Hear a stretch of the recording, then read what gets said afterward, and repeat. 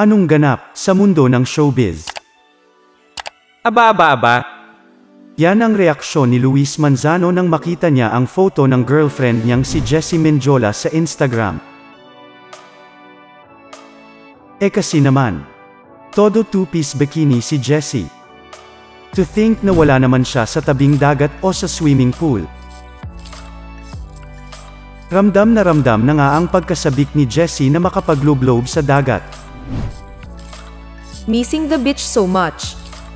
Yan ang say ni Jessie na nilagyan pa ng emoticon na tawa ng tawa. Anyway, panay rin ang biro ng mga fan kay Luis.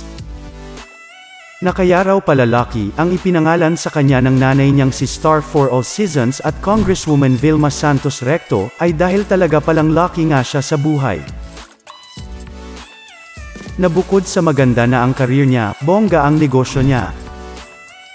May jowa pa siyang tulad ni Jessie, na bukod sa maganda, sikat, sexy, at kinatatakaman ng mga kalalakihan. Ano sa tingin ninyo? Lucky ba talaga si Luis o lucky kayong mga manyakes dyan?